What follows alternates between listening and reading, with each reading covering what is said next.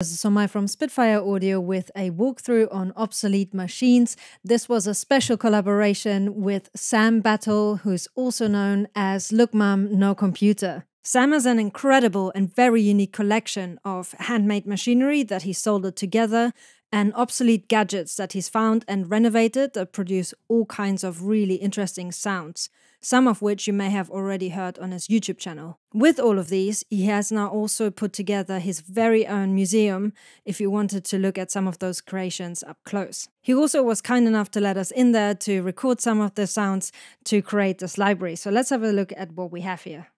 The first patch that we have here is called the Megadrone, which Sam hand built and he included 1000 oscillators. It's pretty nuts. Let's have a listen.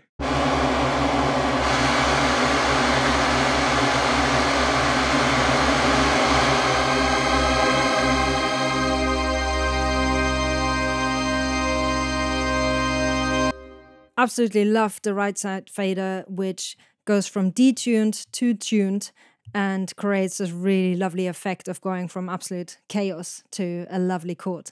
If we have a quick look at the GUI, the left hand fader gives you expression as per usual. The right side fader gives you a variation of dynamics or uh, warps and unison, depending on which patch you're on. On the big O, you have a filter. If you go to the left hand side halfway, you get a low pass filter, and then from half point to the right, you get a high pass filter. You have reverb. And I want to point out that over here, you get different types of reverb that you can choose from. And then also attack and release. If you right click on the dial, you can quickly assign a fader.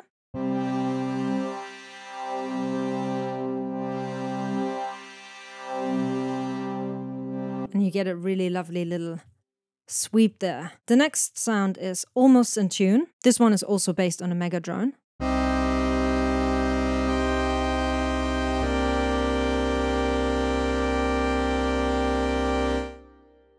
With the second fade up, you can hear it's quite narrow, but the more you go downwards, the wider it gets.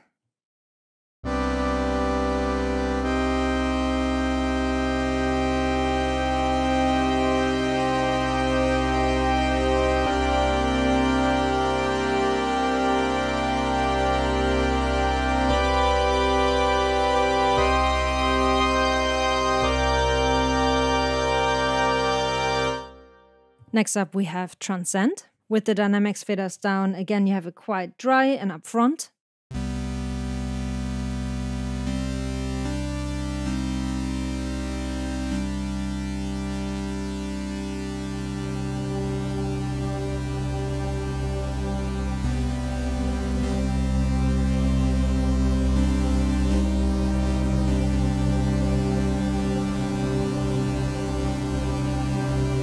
And you can hear how the warped sounds come in as you're fading upwards. Let's also assign the filter on here and have a listen to what it can sound.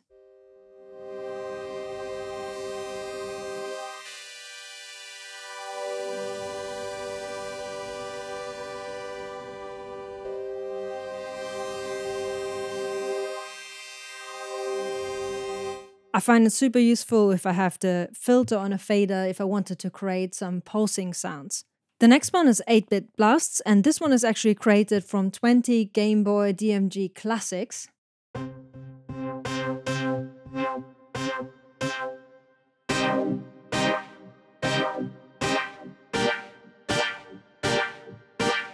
Let's try this one maybe with a different type of reverb. I quite like the stretched one.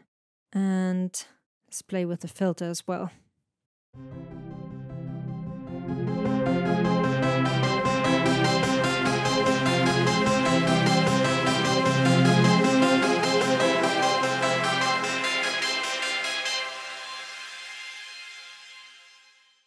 And in a lower register.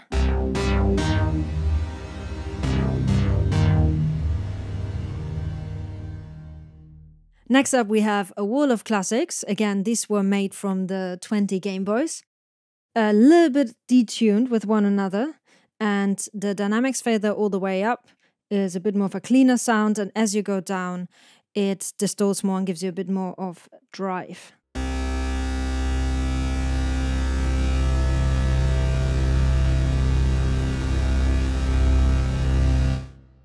You could use them as some really lovely drones. Maybe a little bit more reverb on those.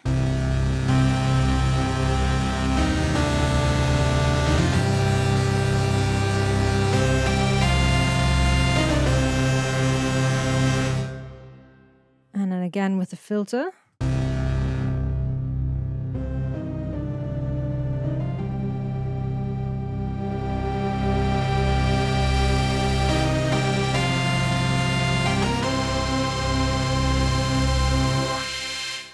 This one is based on a sound that, again, Sam hand built using a Sega Mega machine.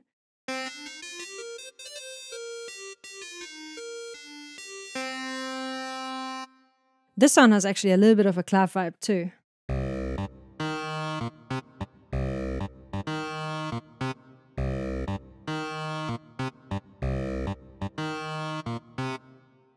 Let's see what the filter does to it.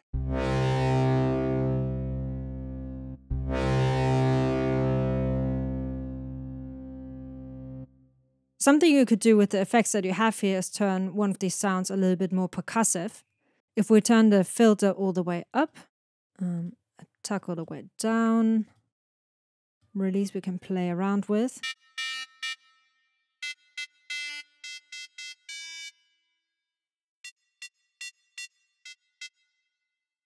And then you can either program really short notes in your MIDI draw, or in Logic you have an arpeggiator option then here you can turn the note length down. Or you can actually do it in here. I think that is the length of the note.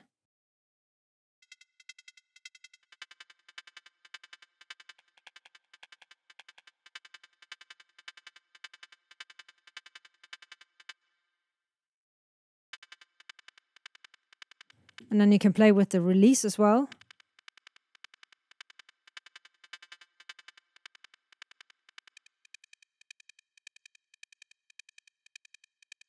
And this is how I created one of the percussive sounds that you can hear in the trailer. Next up we have Punk Mod.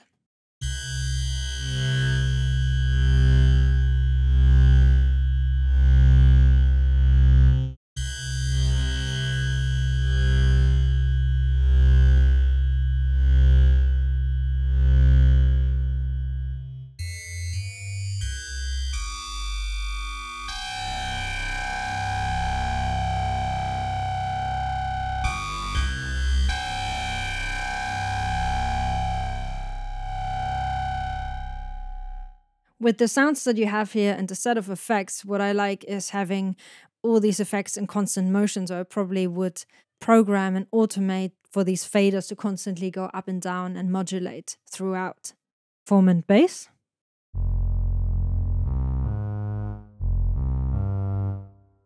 Let's turn the release up a bit.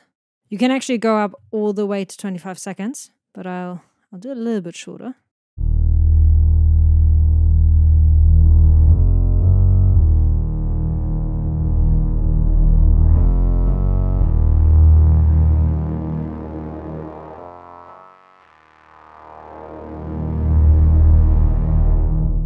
Attic Dust.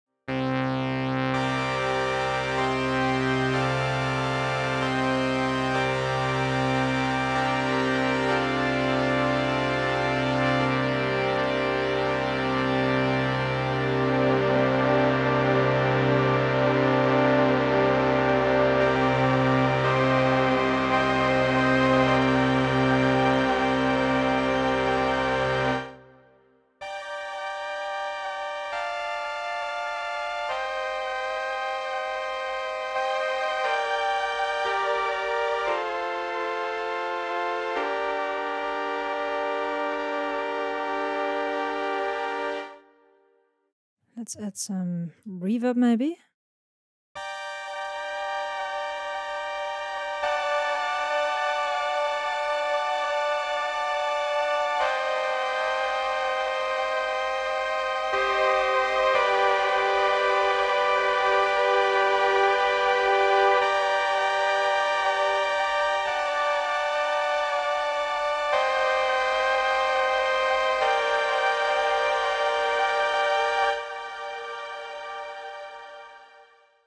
I think that's my favorite one. And the last sound in our library is called barely functional.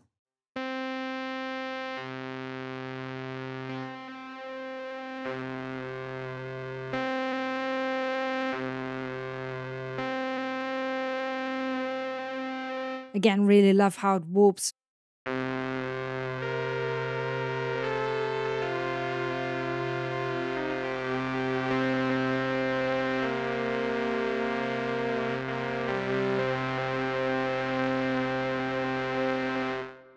Let's try the fader one more time.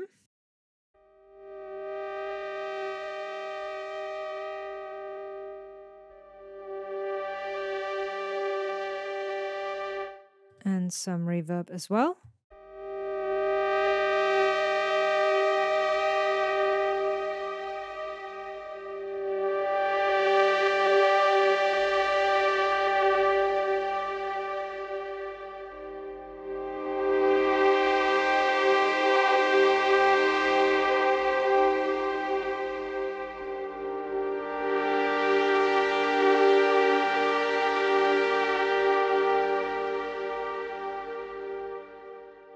Strat the lower register.